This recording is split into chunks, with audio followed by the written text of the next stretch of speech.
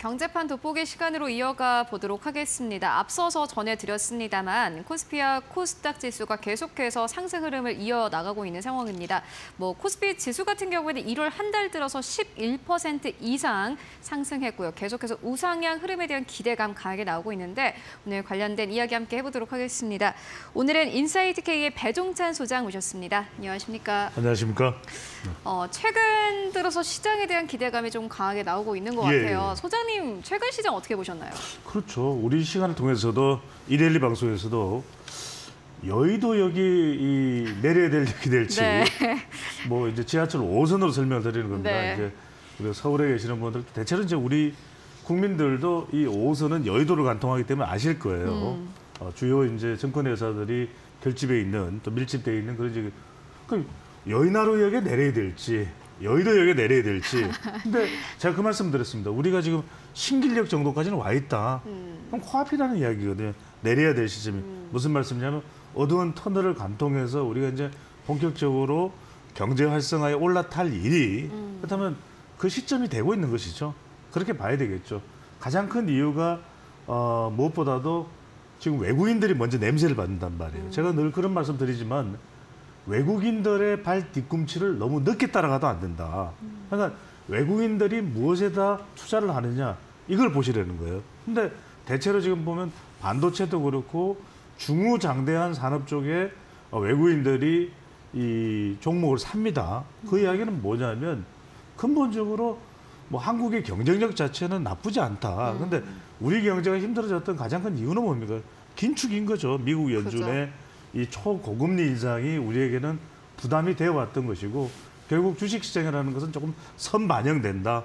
대체로 악재는 지난해에 담아냈고 여전히 뭐 경기가 완전하게 온전한 건 아니에요. 그죠. 근데 그런 부분들을 우리가 확인할 수 있는 것이고 지금 외국인과 기관의 매수가 계속해서 주가 상승을 견인하고 있고 뉴욕 증시가 또 우리 증시의 바로미터거든요. 근데 대체로 보면 예전에 뭐 뉴욕에서 기침을 이러면 이제 우리가 감기가 든다 뭐 그런 이야기 했는데 대체로 뉴욕이 좋으면 우리도 좋고 그래요 요새는 보면 그렇잖아요. 그게 이제 연동성이에요. 일종의 미국 경제와 우리 경제가 연동될 수밖에 없는 구조다. 왜? 우리 경제가 그만큼 글로벌리 이제 경제는 이 노출이 돼 있고 그 구조에 올라타 있는 거거든요. 그럼 중요한 게 뭐냐? 지금 미국의 이 신호 자체가 우리가 뭐 CPI 지수도 있었고 여러 가지 지수가 있는데 실제 한 2.8% 지난 4분기 미국 어, GDP 성장률을 예상을 했는데 2.9를 기록했단 말이에요. 어, 나쁘지 않네.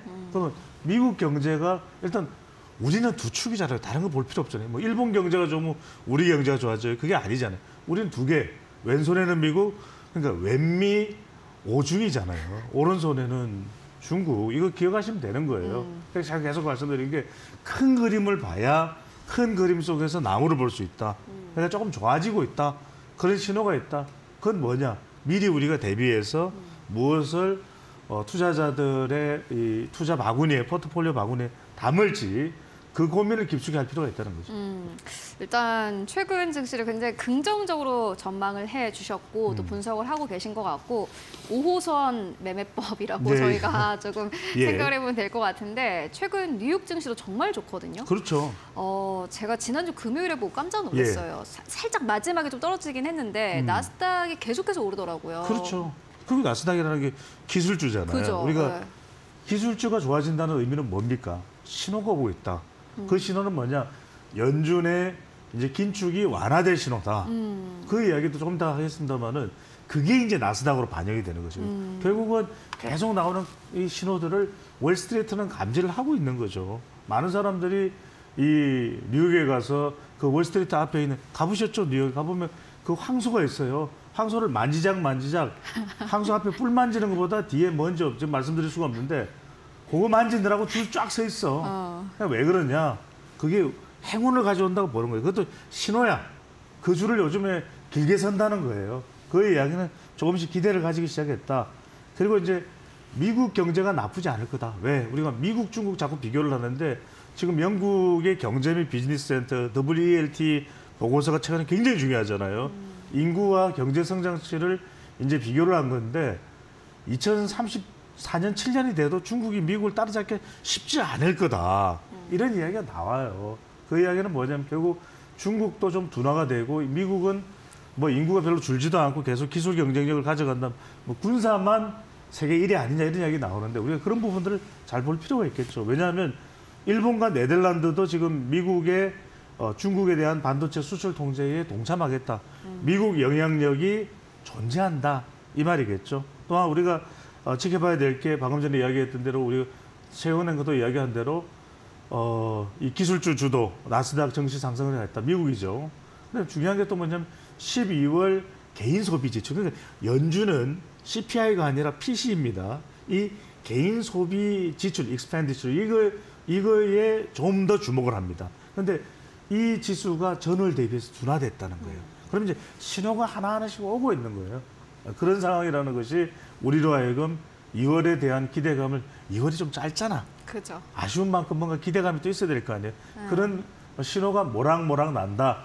이렇게 보고 있는 것이죠. 음, 최근 뭐 미국에 있는 기술 기업들 같은 경우에는 인원 해고를 정말 많이 하지 않습니까? 그렇기 때문에 어, 인력 감소가 오히려 물가를 잡는 데에는 더 도움이 될 것이다라는 음. 이야기도 나오고 있고 이에 따라서 연준에서 원래 생각했던 것보다는 그 이제 금리 인상폭이 크게 가진 않을 것이다라는 이야기도 나오더라고요. 그렇죠. 그래서 제가 우리 시간을 통해서 말씀드렸지만 요즘엔 좀 뜸해요. 왜냐하면 미국에서는 두 사람을 생각하면 됩니다. 제롬 파월, 연준에서는 통화 쪽은.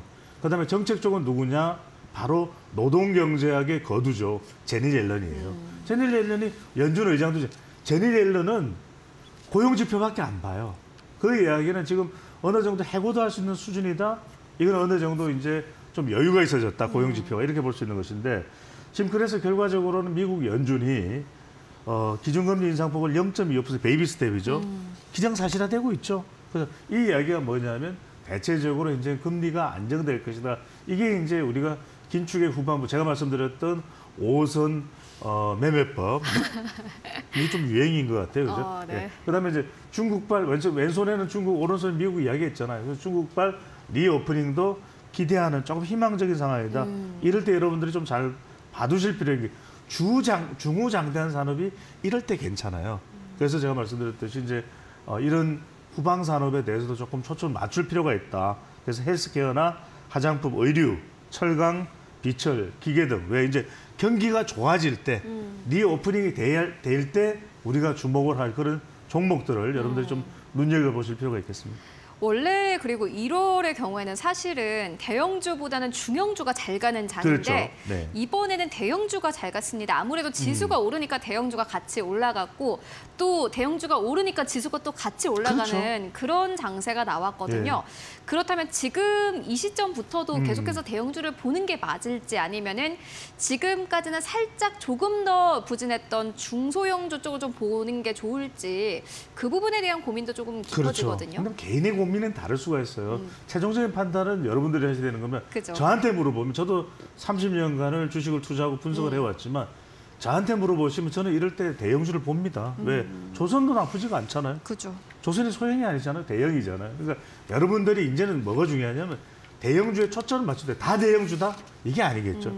결국은 우리가 비율과 어, 그다음에 규모입니다. 그러니까 어느 정도의 어떤 쪽의 색들을 어느 정도의 비율로 얼마만큼 담을까 이 조정이 우리가 필요한 것이 되겠죠. 근데 여기서 중요한 것은 경기 회복 국면에서 최근에 막 사상 최대치를 기록했다는 거 아니에요. 석유화학 우리 시간에도 여러 번 말씀드렸어요. 석유화학 어, 그 다음에 이제 철강 활성화되고 있다는 거 우리 시간에 특집으로도 말씀드렸고 어, 중소 또는 중견 기업이라도 뭘 보라 그랬죠?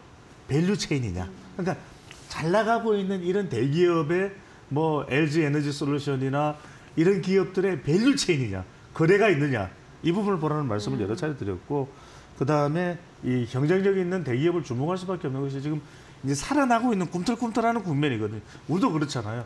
뭔가 이렇게 이 전쟁이 났을 때는 보병 부대가 먼저 전차 부대 나가고 그 다음에 이제 여타 부대들이 나가는 거잖아요. 그러니까 전차를 생각하면 여러분들 중후장대 하잖아. 그 다음에 전투기도 폭격기도 중후장대 하잖아요. 그 생각을 여러분들 그 이치가 주식 시장이라고 해서 크게 뭐 다를 게 없다. 우리가 방산 산업 이야기 많이 하는데 그런 점에 초점을 좀 맞추면 되겠습니다. 어, 그리고 에너지 관련주가 최근 우리 시장에서 아무래도 좀 기대감을 받고 예. 있는 것 같습니다. 어떻게 좀 바라봐야 될까요? 그렇죠. 저도 이거 지금 벌써 칼럼을 다섯 개나 썼어요. 계속 요청이 들어와가지고 뭐 난방비 폭탄만 가지고 칼럼 다섯 개 쓴 사람이 없을 텐데 지금 빅데이터도 계속 분석하고 있고. 네. 그러니까 결국은 뭐냐 석유화학이나 에너지 관련 기업의 수익률이 지속적으로 상승을 했잖아요. 그래서 여기서 또 들어올 질문이 우리 최은행그가 또 치고 들어올 질문이야. 그러면 지금도 조금 석유화학이 유효, 유효해요? 이러면 제가 말씀드려요. 약간 경계선에 있을 때는 얼마만큼 담을지 지금 담는 건 나쁘지가 않다는 이야기잖아요. 여하튼 좋다는 거니까 석유화학이든 철강이든 여하튼 이쪽 분야가 에너지가 그럼 여기서 우리가 뭐 많이 그냥 전부 다 이렇게 담을 수는 없지만 약간 끝단에 가 있을 때도 조금은 담을 수 있다. 왜냐하면 관련된 발언들을 봐도 어, 김준 SK 이노베이션 회장이 전력 사업이 석유를 대체한다. 이게 뭐겠어요? 어? 2차 전지나 등등등의 친환경 대체 에너지 이야기겠죠. 지금 제가 주목해야 될 사람과 기업을 이야기할 때 롯데 이야기를 하잖아요. 롯데 케미칼을 그렇게 이야기했어. 맞아요. 네. 네. 그다음에 신동빈 여러분들 최종 판단은 여러분들이지만 참고를 하라는 의미에서 강조를 드리는 거죠. 수소 및 친환경 사업 투자. 수소 친환경 하면 여러분들이 머릿속에 바로 떠올라야 될 기업이 롯데, 효성 바로 들어와야죠. 그다음에 저부가 석유화학에서 이제는 고부가 2차 전지 수소로 전환되고 있다. 이런 점들에 여러분들이 더 주목을 하실 필요가 있다. 그래서 저는 무슨 말씀을 드리느냐. 최근에도 어, 윤석열 대통령이 아랍에미리트 그다음에 다보스 포럼 갔을 때 수소 경제 이야기가 나오거든요. 여러 차례 이야기를 했어요. 우리가 1년 반 전에 우리 시간 이 코너를 여러분들 다시 보게 하면 그때도 수소 화물차를 스위스에 수출했다. 다 말씀드렸어요. 우리 시간에. 어, 뭐냐? 주식이라는 것은 미리 여러분들이 1년 앞 2년을 내다보는 겁니다.